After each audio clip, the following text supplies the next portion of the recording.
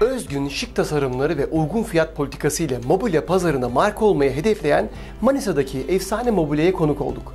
Birlikte izleyelim. Bu sektöre 1977 yılında adım attık.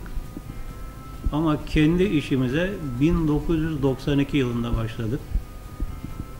Ee, bugüne kadar efsane adı altında e, üretim yapıyoruz.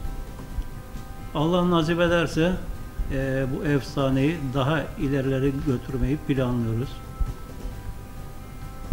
E, 1992'de e, Ali Bey ile ortak olarak işe başladık.